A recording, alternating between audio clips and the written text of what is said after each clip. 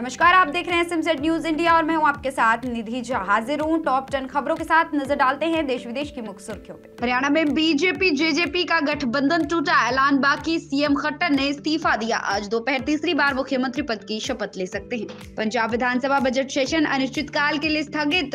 राज्य चुनाव कमीशन शोध बिल हुआ पास, सीएम मान केंद्र के वर्चुअल उद्घाटन पर भड़के। सेला टनल खुलने पर चीन बोला, अरुणाचल हमारा हिस्सा कहा पीएम मोदी के इस दौरे से मुश्किलें बढ़ेंगी, भारत को वहाँ जबरन विकास का हक नहीं। पीएम ने साबरमती आश्रम में कोचरब आश्रम का किया उद्घाटन, कहा पाँच एकड़ में सिमट गया था साबरमती आश्रम, हमने पचपन एकड़ ज़मीन मुक्त करवाई। भारतीय नागरिकता के लिए सरकार का पोर्टल लॉन्च, पाकिस्तान, अफ़गानिस्तान, बांग्लादेश के गैर मुस्लिम शरणार्थी करेंगे अप्लाई सीए के खिलाफ मुस्लिम लीग सुप्रीम कोर्ट पहुँचा। एसबीआई को आज इलेक्ट्रॉल बॉन्ड का डाटा देने का निर्देश। सुप्रीम कोर्ट ने चुनाव आयोग से कहा 15 मार्च शाम पाँच बजे तक इसे वेबसाइट पर पब्लिश करे। ऑस्ट्रेलिया में पत्नी का मर्डर करके हैदराबाद लौटा पति। तीन साल का बेटा सास ससुर को सौंप कर फरार। वाइफ की हत्या की बात भी कबूली। भारत दुनिया का सबसे बड़ा हथियार इम्पोर्टर बिक्री में दूसरे नंबर आरोप फ्रांस। हथियार बेचने के मामले में पहली बार रूस लुढ़क कर तीसरे आरोप अग्नि पाँच मिसाइल टेस्ट पर चीनी जहाज़ ने रखी नज़र। विशाखापट्टनम के तट से 500 किलोमीटर दूर तैनात किया। परीक्षण से ठीक एक दिन पहले पहुँचा। दो आईपीएल मैच मिस कर सकते हैं। सूर्या इंजरी से रिकवर नहीं हुए पंत का सभी मैच खेलना मुश्किल, शमी भी टूर्नामेंट से बाहर।